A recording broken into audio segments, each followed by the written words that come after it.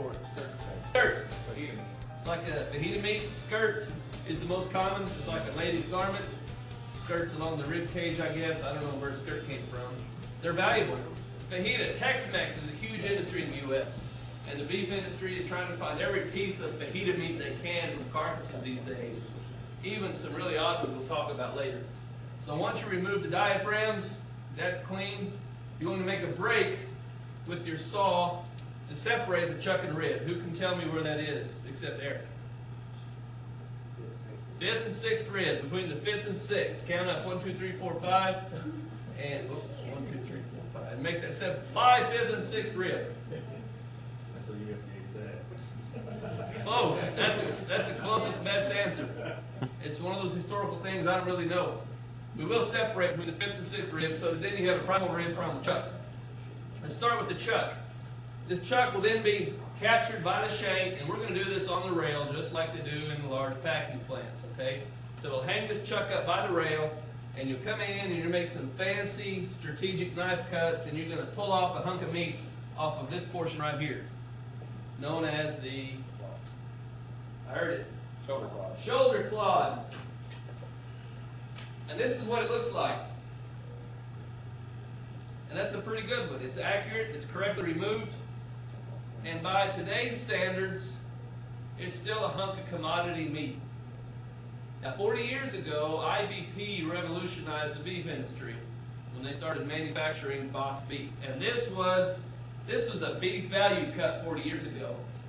Man, this was great news for the retail butcher, the grocery store butcher, because now he's not having to lug in sides or quarters and break all that down and throw away fat and bone. 40 years later, you can't hardly find these clods anymore like this. So this is almost gone. Okay? Beef industry, in part funded by the Checkoff program, uh, there's a group within NCBA known as Beef Innovations Group.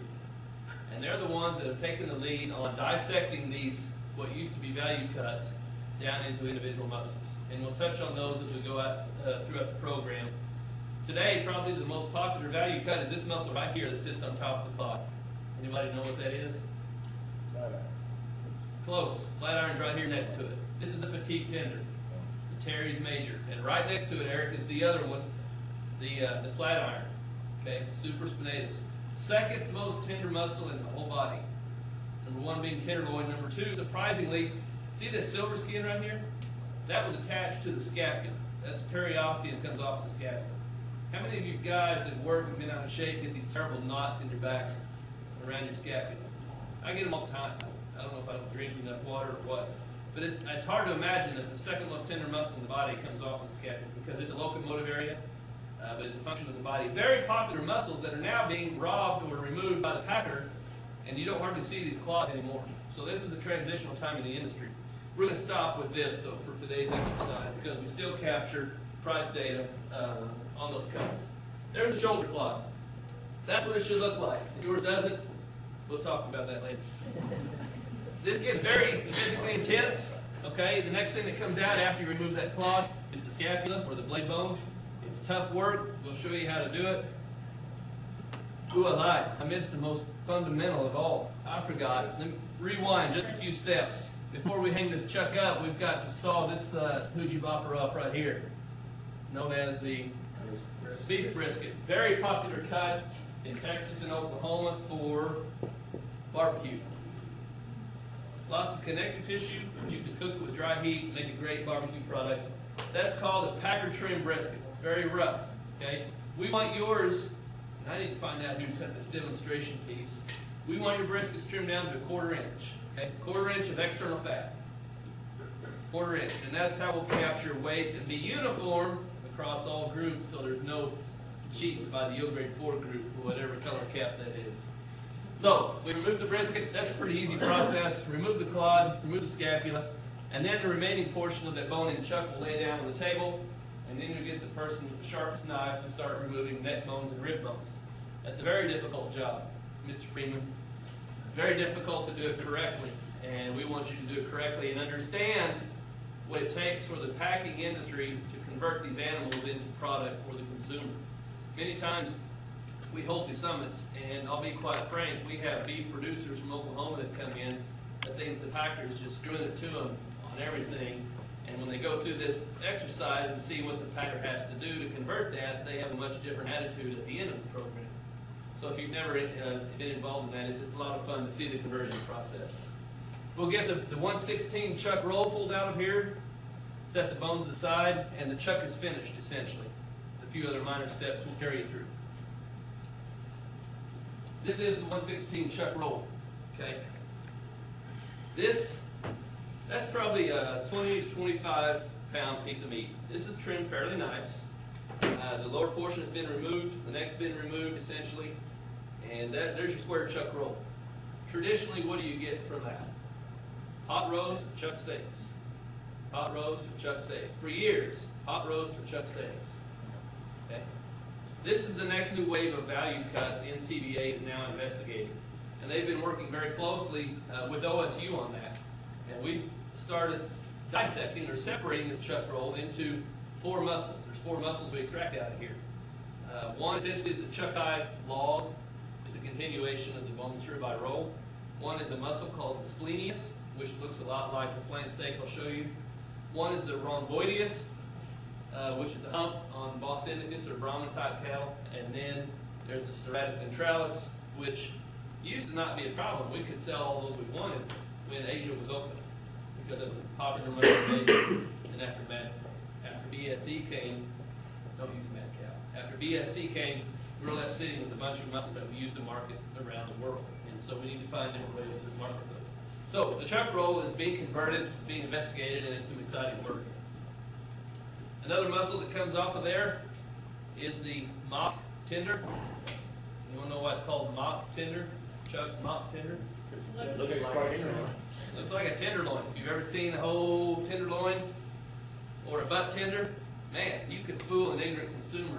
They don't eat similarly at all, not even close. We should change the name of it. Yeah.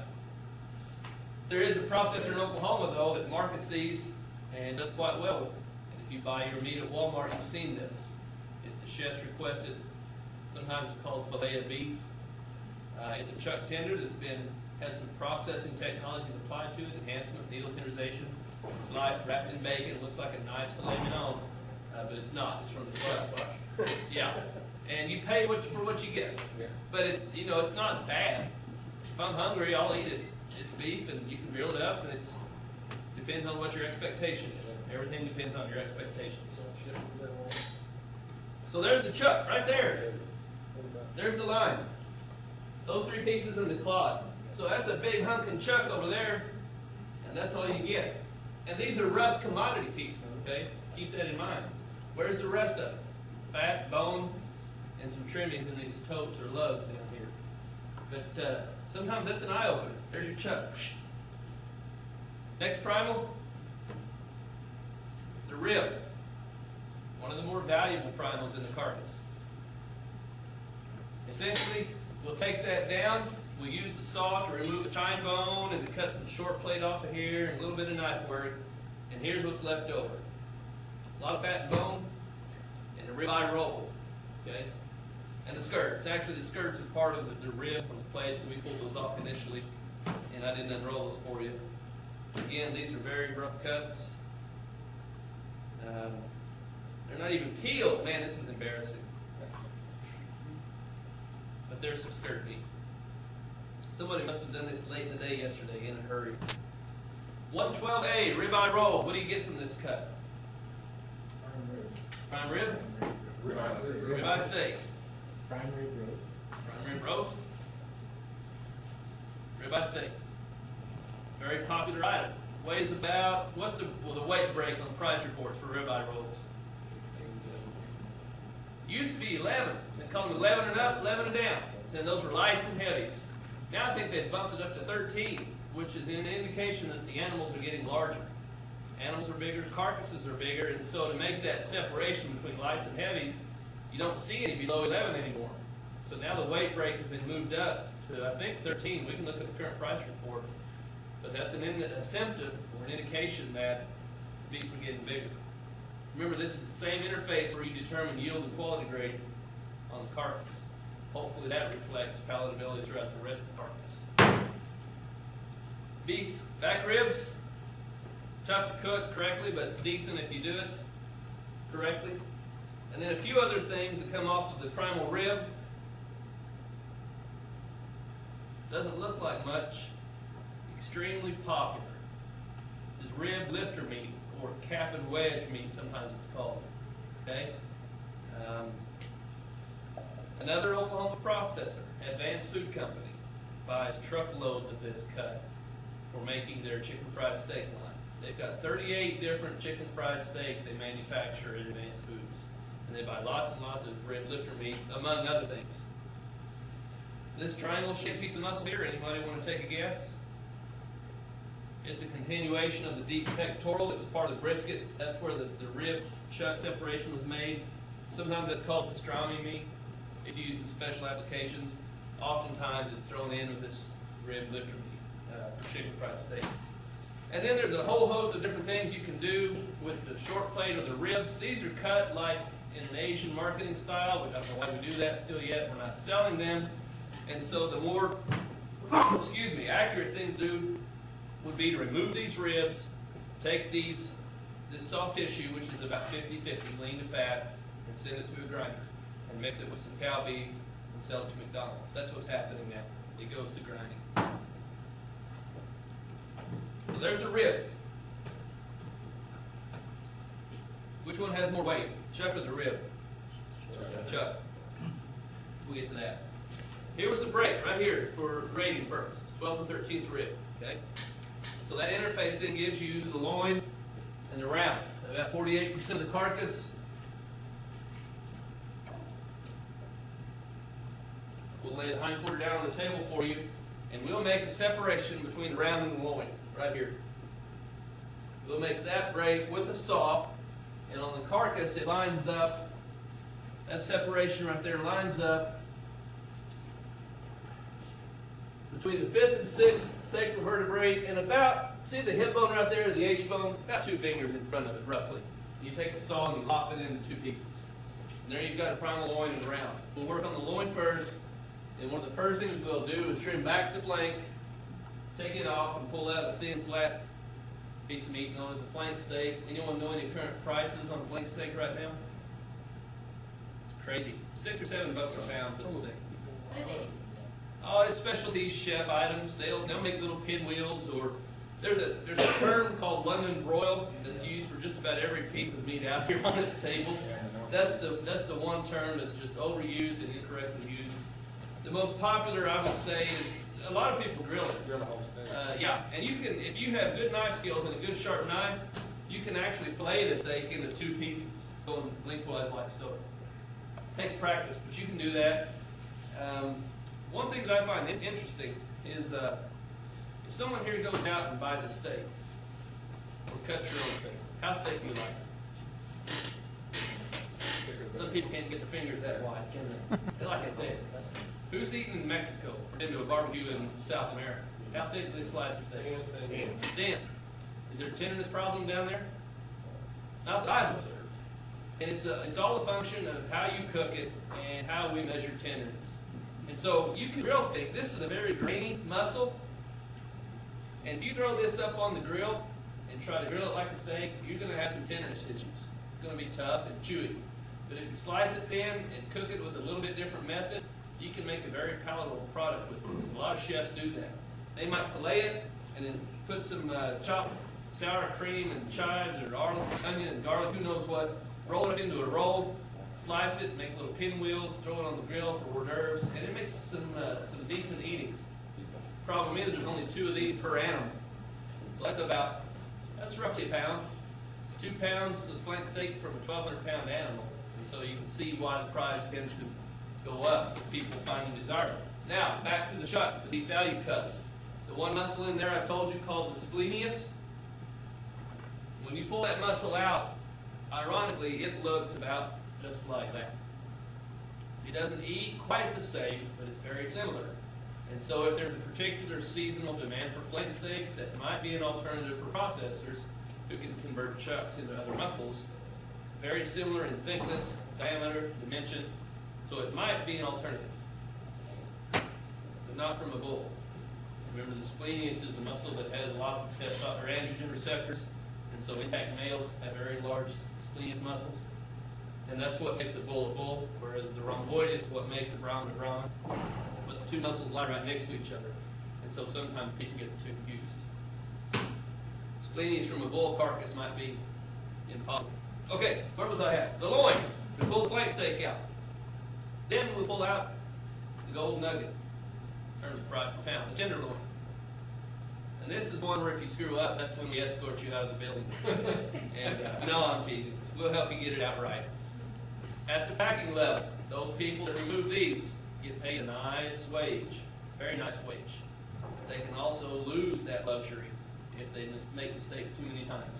It's a job that people search after uh, because it pays well, because you can really affect the bottom line based on tenderloin yield for a day. If you fabricate 6,000 animals a day and you add an extra two tenths of a pound to each tenderloin, a lot of money. So maximizing yield. The margin is so tight in the packing industry and volume is so high, you have to take every step that you can. Remove the tenderloin. Yes, I have no idea. Maybe Travis can pull up the price of orders. I saw retail, uh, tenders for CAB in Oklahoma City on Saturday night, and they were eighteen ninety-nine pound. Retail Retail. steaks or Yeah, roll place. Yeah, CAB. CAB. Love it. Now, there is another fabrication style where we don't remove the tenderloin. You want to market T-bones or intact short loins, you would make a break right here between sirloin and short loin before you pull the tenderloin out, and that's how you get T-bones. Because the bones would still be in here. You Make that break, and then when you slice this whole thing with the bones and two muscles, that's the T-bone steak. When you do that, you're left over with the little short portion of the tenderloin known as a butt tender, which again looks very similar to the mock tender, and that's where some corruption and identity manipulation can occur. We hope not. Once you eat it, you'll know. If you do remove the tenderloin out boneless, then, or either way, you're left with then also the sirloin portion of the loin. We've got top and bottom, and that's in relation to the live animal, okay? Top of the animal dorsal, bottom ventral. All that you really get from the top is the top sirloin butt, number 184. And again, this particular cut is starting to move away from this look and this condition because the packers are starting to remove this cap and further trim things at the packing level as a way to add value and to get it closer to the consumer and minimize some of those conversion steps. They're calling that a culotte? Yeah, the culotte muscle is the cap that you pull off the top of the top button. I don't know where that name came from. I had an argument with a bunch of them selling tri-tips as culottes. You know, a lot of people take this cap and market it like tri-tips also. They look similar, they don't eat exactly like it. At all. It looks similar in, uh, in shape and size and weight. From the bottom sirloin then, uh, we've got the flank out of the way. There it is. There's this whole conundrum with stuff that once you remove all the fat, here's the bottom sirloin, we'll pull three pieces out of it. And one Eric just mentioned, very popular in California. Any West Coast people in here? Idaho, tri-tip. Heather says A-OK. Unknown in Oklahoma till a few years ago, there's another, I keep bragging on these processors in Oklahoma, National Steak and Poultry. Because lots of these were a little chain called Applebee's. The Applebee's sirloin uh, comes from the tri-tip, among other things. The other one from the bottom sirloin is the ball tip. And this, in my personal opinion, is the most frustrating cut. Um, anyone know why? Anyone want to talk about the ball tip? This is, if you ever wanted to change something in an industry and it just takes forever to get it done, ball tip is one of those things. It's a continuation of the knuckle. That's the muscle right there, and that's the carcass break between the round and the loin. Okay. Now the reason it's frustrating, number one, is what the heck are you going to do with that? You can't cut steaks out of it. The muscle fiber orientation is all wrong, and so what happens most of the time? It ends up getting ground. The last thing we want to do is maximize grinding. We want to minimize grinding for value of whole carcass. The second that makes it frustrating is that there's a muscle in there, the mid portion of it called the rectus femoris for the meat geeks, Latin terminology. It's an awesome muscle for steaks.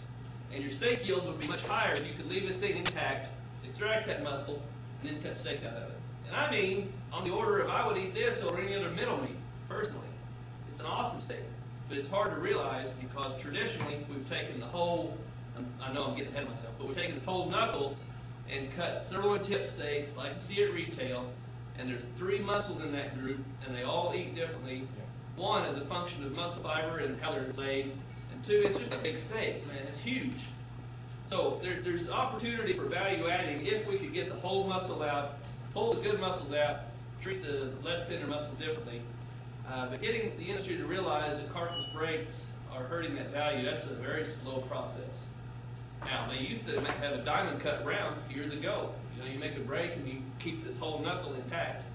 Uh, but at today's scale and today's speed, it's hard to make diamond cut rounds because they've got these big loppers and these big horizontal saws, and these animals, their carcasses are coming so fast, they're just trying to keep up with the change. So, eh, that, the tip center is what it's known as. Tip center. It's a neat little muscle. So the ball tip, your left, and it's funny, as the price changes, packers aren't stupid. As the price changes for ball tips, the carcass breaks, move a little bit. They swing like a pendulum. Same thing down here. As ribeye rolls get expensive, or the price goes up, that break between the chuck and the, and the uh, rib, remember I said between the fifth and sixth rib? Packers, this, I'm not, I'm not trying to disrespect them, they're just playing the economic game. They'll start off in between the fifth and sixth rib, that cut will start just easing off down the head, you got this big point left on the ribeye roll.